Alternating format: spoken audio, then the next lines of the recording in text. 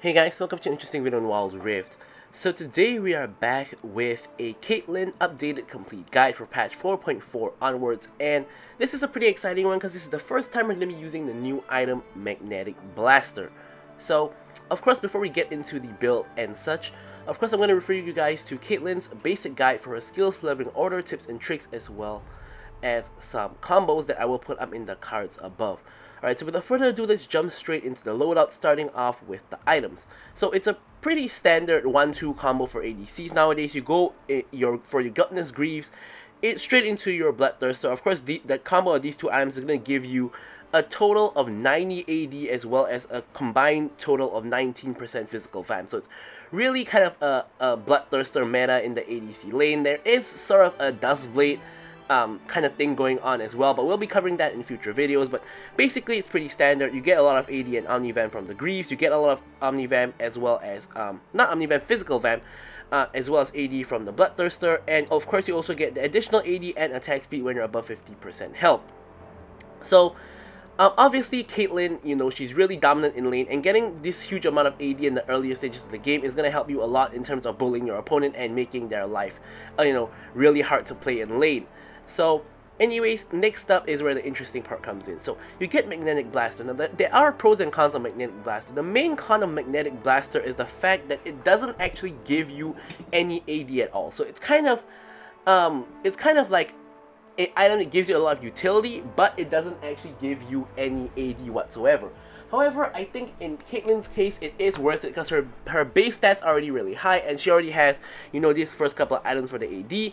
So what you get is the crit rate, obviously you get the attack speed, um, but what you're really after is the passive. So basically, long story short, this is going to be static shift plus rapid fire cannon combined. So what it's going to give you is when you charge it up to 100 stacks by moving, you're going to get um, an increased range like rapid fire cannon. But when you hit uh, an enemy with that rapid fire cannon shot, it's gonna give you the static shift effect, where it's gonna bounce lightning up to five up to five enemies, and it can crit as well. So this is really useful for Caitlyn, mostly because of the rapid fire cannon effect. Of course, the static shift effect is nice to have on top, uh, but basically this allows you to bully people even more. Now, you already have the longest range, but you're still kind of in range for certain abilities, of course. So with the Magnetic Blaster, with that extra range, you pretty much should be safe from majority of abilities in the game. Of course, there are still those like long range slash global abilities that you will always be in in, uh, in range of, but in general, majority of those kind of like um, hard CC or abilities you want to be scared, you need to be scared of, generally you're going to be out of range for all of those and you can just poke them down with the, these rapid fire cannon or slash magnetic blaster I guess you, you, could, you could say shots. Then of course you go into the IE, gives you one, once again more AD crit as well as increases your crit damage. And finally you top it off with the Mortal Reminder which is of course going to be giving you the Armor penetration, the crit, as well as, of course, the grievous wounds. Lovely um, new change to the item. Now, finally, for our last item, you have the same suspect options. Most of the time, it's going to be GA, um, AD, armor, and the revive. But you also, of course, have a lot of other options. Your offensive option is going to be Runaan's Hurricane. You can technically go for this to split your, your shots into three. It is um, generally not really associated as a Caitlyn item, but it still works very well. Gives you AD, gives you attack speed, and allows you to attack three people at uh, one time and it's gonna crit all the time because you already are at 100% crit so if you don't need any defensive tools you can go for this one but I normally recommend going for defensive tools like Guardian Angel or our next one Morbius. Of course, this is going to be really, really useful against, um, you know, all the magic damage dealers, and especially, you know, if the mage, mage is getting a huge buff in this patch, this might come in really handy. Of course, gives you magic resist, AD, as well as that magic damage shield. And your next option Sterak's Gage mainly for the shield. So the, the, the gauge, of course gives you 400 HP, gives you more um, base attack damage as well as gives you the shield. This is basically a better version of Shield Bow since basically Shield Bow the main benefit of it is, is that it gives you crit and gives you the shield. But Sterak's Gage is going to give you a I think slightly larger shield but it's going to give you health and it's going to give you more AD which overall is better um, than Shield Bow. And your last other option is going to be a really interesting one. It's actually going to be Crown. Now, Crown is actually a very viable last item option for ADCs because despite the stats not being very useful, like you don't really care about, you know, magic pen, you don't really care about ability power. I mean, health is kind of useful, mana is kind of useful, ability haste also can be kind of useful, although it's not really the stats you love, but it, it, it at least helps. But um, the ability power and the magic penetration doesn't help whatsoever. But what does help is the safeguard passive. Of course, you don't care too much about the poise passive. Um, you probably can't proc that anyway unless you're a certain ADCs like Ezreal or, or, or Zeri, for example. But uh, if you're a Caitlyn, you can make use of that safeguard ability, that spell shield, giving you the um, Banshee's Veil passive to, to negate a hostile ability and giving you 1.5 seconds of 70% damage reduction can be absolutely amazing and game changing on ADCs as well. So this is actually a very viable last item option for ADCs and you know you might see me build it you know in, in a future gameplay, not in this particular one, but you might see me build it in a future gameplay and you will understand why. So anyways, um, for the runes, lethal tempo because the only attack speed we have uh, in this build is actually going to be the Magnetic Blaster, so Lethal Tempo is going to work out great. Um, I have seen some people still want to go for Conqueror here and then go for Alacrity here. You could do that as well, but I don't think the attack speed from Magnetic Blaster is enough. I like taking Lethal Tempo. Of course, we have Brutal here for the on-hit uh, damage on champions. We have Giant Slayer because most of the time, um, you know, most of the time nowadays, people are going to be tanky. So Giant Slayer, as we see from like the runes now, it's generally going to give you more value than than coup de grace, so you should be taking Giant Slayer majority of the time. You have Bloodline, of course, for even more Omnivamp. You could also go for Alacrity here if you want more attack speed, but I think that this is good enough. And then we go for either Bone Plating or um, Overgrowth for the defensive options. And finally, we take Flash and we like to take Ghost. The main reason why you don't generally take Exhaust on Caitlyn is because you're generally supposed to be far away and you shouldn't really be in exhaust range anyways. However, if you, if you do have kind of assassins who want to jump on top of you, then taking exhaust could be an option as well. But with all that out of the way, let's jump straight into talking about our gameplay.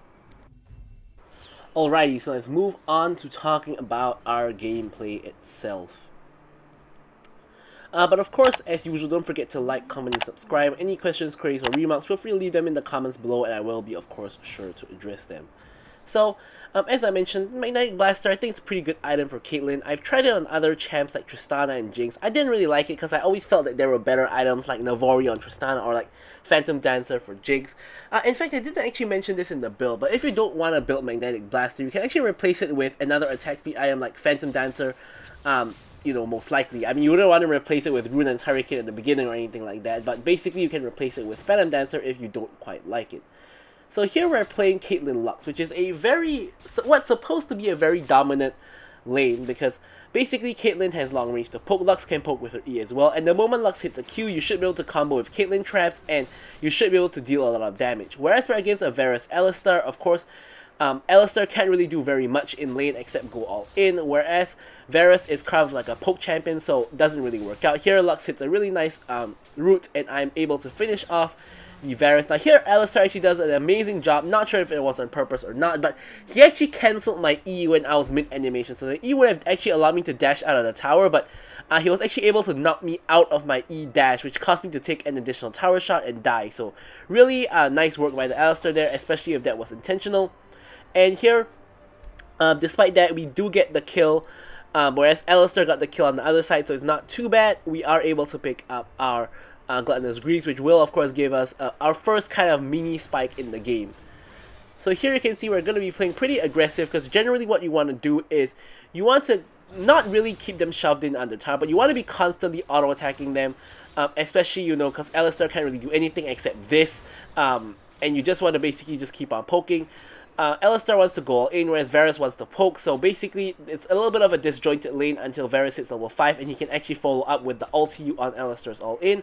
So in the meantime, you should be kind of zoning them away from minions, making sure that they, you know, feel the hurt and make sure that they're constantly losing health and are at risk of pretty much dying. Now, there is a situation where you can shove them all the way under tower and harass them to the point that it's a free dive with or without your jungler, but you know, it's kind of situational. So again, Lux hits a nice nice root, uh, allows me to get a free full damage Q because it doesn't actually pass through anything, and then follow up with another auto. Now, Alistar is actually reset, and Lux is also going to reset because she doesn't have mana.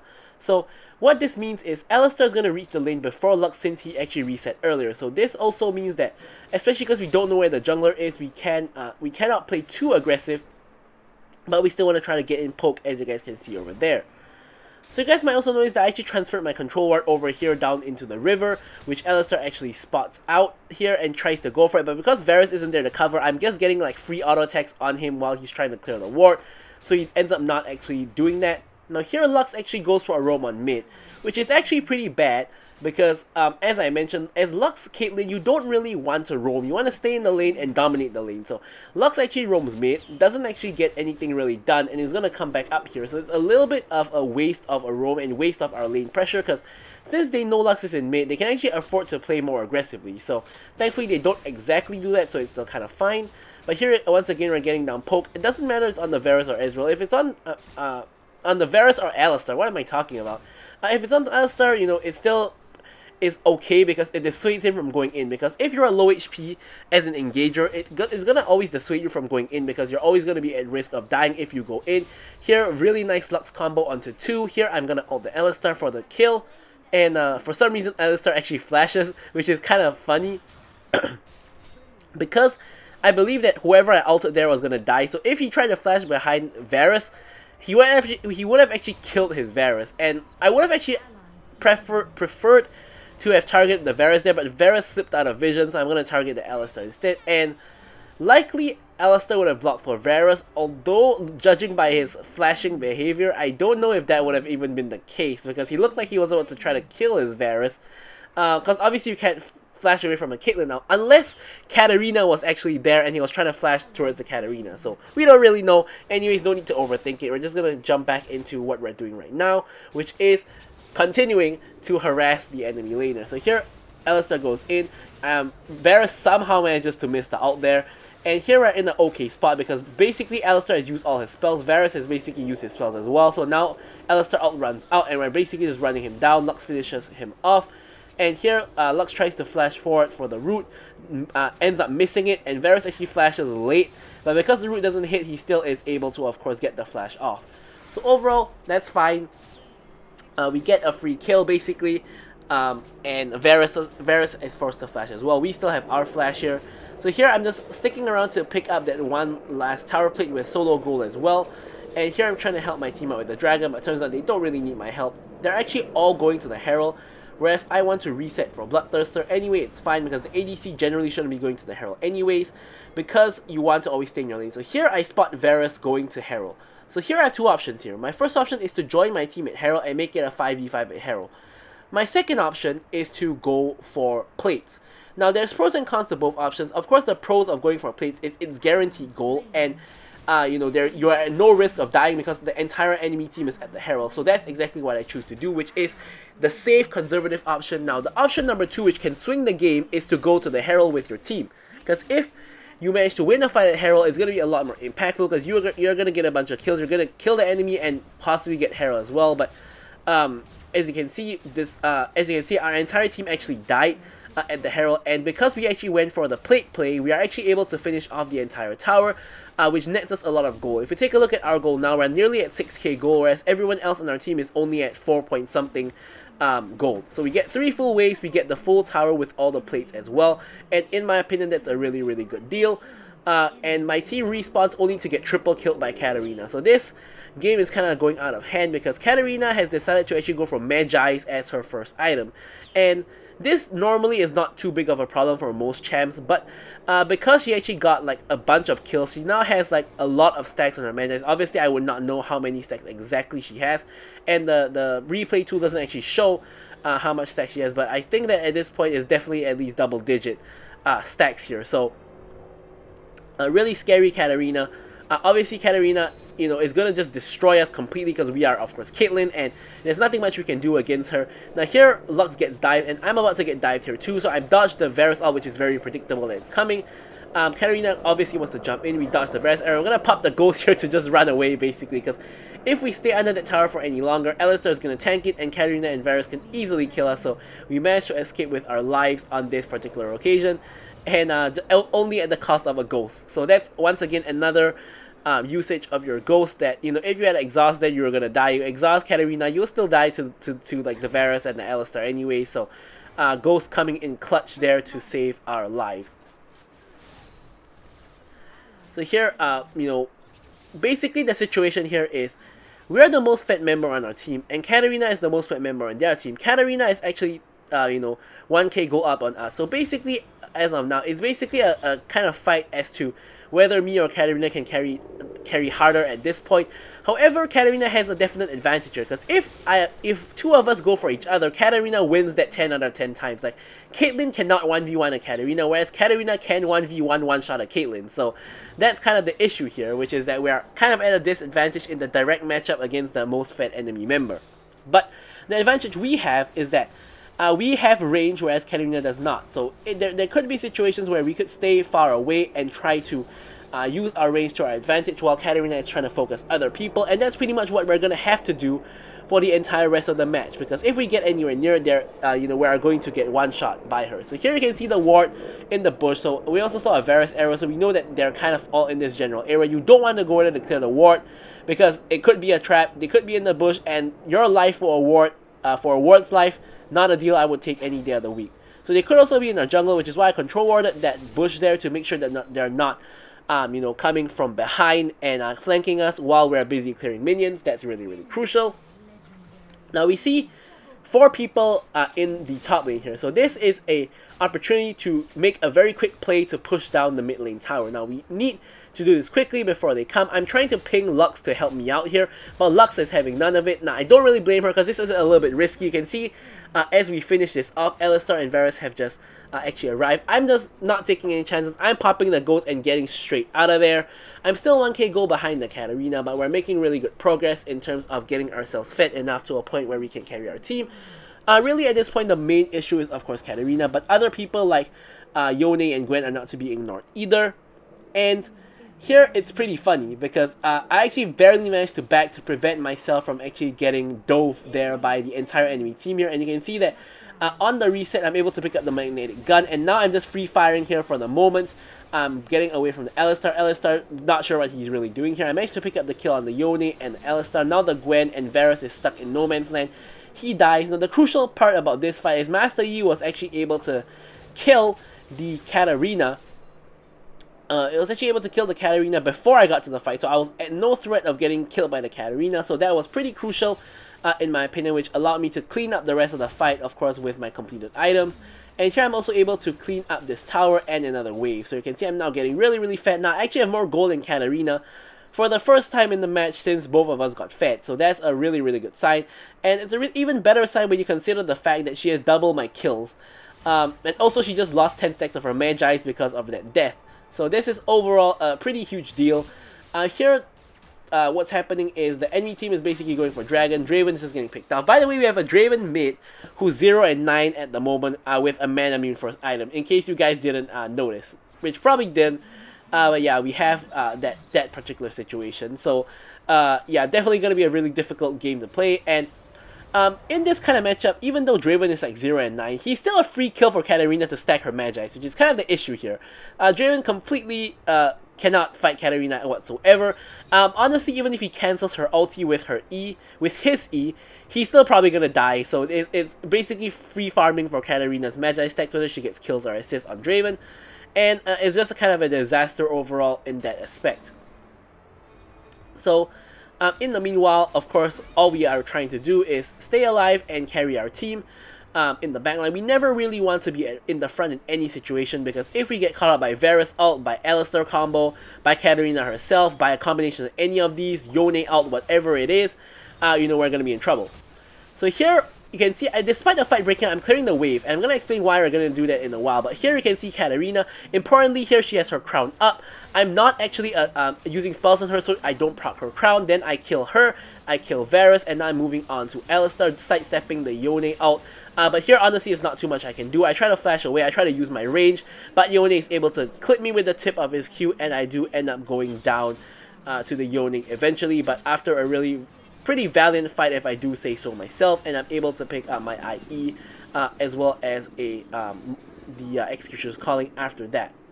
So two important things to note in that fight here. First up is I cleared the minion wave before the fight. Now, why am I focusing minions when there's a fight? Well, basically, that minion wave was so huge that it basically constituted to a, like another champion. So if I don't clear that minion wave before the fight, any team basically has an extra champion on their team uh, against us. Whereas I can easily clear the minion wave with, my Q and my uh, and my magnetic blaster auto. So that's exactly what I did. Now, second important thing I did there is to only auto attack Katarina and not use spells. If I E her, if I Q her, um, you know, it's going to proc her her crown and Procking her crown basically is going to mean that she's going to take 70% less damage for 1.5 seconds, and we don't want that. So we're just going to purely auto-attack her. Of course, as an, as an ADC, that's a very key advantage that we have against crown users, which is most ADCs can afford to not use spells and just auto-attack. Of course, if you're like a Lucian or an Ezreal, the story is a little bit different. But if you're just a general uh, hyper carry ADC or like a general auto attacker, you can just go ahead and attack without uh, without using your spells at all. So here, Yone tries to go in. We are able to pop him um, fast enough. And uh, you can see here that we're slowly starting to kind of take over the game so long as Katarina is not able to kill us. And so far, she hasn't really been able to focus us aside from the few tower dives that she tried to carry out on us which was not successful. We haven't actually died to Katarina the whole game. So here Gwen is pretty overextended. We're trying to uh, uh, kill her and we do uh, we are able to punish the overextension and Teemo is able to survive as well. So this uh, ends up going really really well. Um, the, the pretty much the chain of events here has been going pretty pretty well and uh, you know we're in a pretty good spot here. We're, we're way more fed than the Katarina at this point and we just need to keep ourselves away from her. Of course we don't have any kind of safety tools. We don't have our, our stasis. We don't really have anything Generally nowadays it's, it's best to buy your enchantment only when you're, you reach like 4 items because you want to rush the 100% crit as fast as possible. Although if you are really fed and you need the stasis to survive, you can of course go for that earlier. And this is one of those kind of cases that going for a stasis here would make sense. Uh, but of course also Mortal Reminder makes a lot of sense as well. Of, of course to shred Alistar and just to get 100% crit, uh, you know, etc. Um, so speaking of which, we are going to complete Mortal Reminder, and we're going to go for Stasis next item before we get to our last item, um, which in this case could be a it could be a mall because there is of course Katarina and there's also like Gwen and Yone who does a little bit of AP damage. Varus now has a crown as well, so he's also going to be doing some AP damage, so a, a lot of Maul value. But in this particular game, I actually chose to build towards uh, Guardian Angel. And the main reason why I chose to do this is because I'm still really afraid of the Katarina. Now, if Katarina one-shots me without me doing anything, then I'm really gonna need that GA to keep myself back, uh, to get myself back alive and put myself in a position where I can do something. So I felt that GA here was really good for just purely for the revive, not really for the stats or anything like that. But Maul would be really good in this spot as well. In fact, you could even argue that Crown here is not really bad because you can block Katarina's combo with Maul. So anyways, here the next dragon is actually coming up. Now, we don't really care so much about the dragon, but I'm really using this opportunity to opportunity to try to get a good team fight. So you can see here, I'm not even attacking the dragon. I don't care. Varus whiffs and out. Uh, I'm trying to see if I can kill anybody. So here, uh, Master Yi is trying to run down Varus. I get a huge auto on the Varus. I pop the ghost, and I'm just trying to focus wherever I can. Alistar isn't the first target. Yone out doesn't really quite hit me. I'm focusing Katarina. Katarina dies. And now I'm going to focus the next target, which is Alistar. Full stack lethal tempo, flashing forward, getting the kill. Yone is now stuck in trouble. I put a trap behind him, so he has to go forward to attack me, and I'm going to just eat away and finish the fight um, onto the Yone. So off of that, we can not only get the dragon, but we can also get the Baron. So here I'm pinging for Baron with Master Yi, so we can two-man the Baron and we can easily just, you know, pick it up. So here important once again is I do more damage than Master Yi, so I'm not starting the, the Baron until he gets here, which is going to give me the opportunity to, uh, of course, deal full damage to the Baron instead of getting the debuff, which causes to, to uh, only do 50% damage. Also setting up the trap line, although there's really unlikely that any enemy really comes up here before we finish it off, but you know, better to be safe than sorry and we are able to finish off the Baron for our team. So now we're at a really advantageous um, position now. We're gonna back, we're gonna pick up our stasis, of course, and as I mentioned, I'm gonna build towards GA, so I'm gonna pick up the BF sword. Another huge injection of AD for us. Now at this point, you can see that we're doing insane amounts of damage against Katarina because she's incredibly squishy despite being very fed. Same can be said for me though. So basically it's who can kill the other faster and so far I've been winning because Katarina has not been focusing me. Of course, this is a lot to do with the fact that Caitlyn has the has the longest range in the game, and also, of course, due to the fact that I have the magnetic blaster. So here I'm getting a free auto onto Katarina. I can see that it does uh, almost a third of her er, of her HP. So that is, of course, uh, you know, does, does a lot of damage and pokes her out, which of course makes her more vulnerable to going in. Now here again, I'm trying to use my range to poke. Another sidestep on the Varus ult. Varus has not been good at hitting these ults. I think I've dodged like Actually, I think I've dodged all of them. I don't think I've actually been hit by Varus ult so far, if I'm not mistaken. Yeah, so he's really bad at hitting his ult. Anyways, here with the range, we can focus down the tower, get the free mid lane inhibitor, and Elder Dragon's actually coming up. So Yone tries to go for a really weird flank, but you have to remember Yone is their jungler here, so if we actually get a fight and run him down, he, he's gonna lose the dragon for his team. Whereas our Master Yi is kind of doing the same thing by jumping into the enemy team. Now here he, uh, we find him caught out and he is down. Master Yi is a little bit low on health, he's about half HP at the moment. But without their jungler, it's gonna be really hard to contest Elder Dragon. Now, the only thing that could go wrong here is Katarina jumps in, gets reset on everybody, and wipes the whole team and gets the Elder Dragon steal as well. Uh, but that's pretty unlikely, so we're just going to focus down the Elder Dragon. Gwen tries to uh, snipe it with her ulti over the wall, but doesn't really work out. Uh, also makes it such that Gwen ulti is now down. So here now with the, the Elder Dragon, now we're trying to push. Now here I'm actually picking to push top, because mid doesn't have inhib, there's no point really pushing mid unless we're going for the end, which is not the case. Master Yi and I get spotted by the Poro, but it's too late because Gwen is very obviously in that bush. Can't be anywhere else. So we get a free pick onto the Gwen with the Elder buff, of course.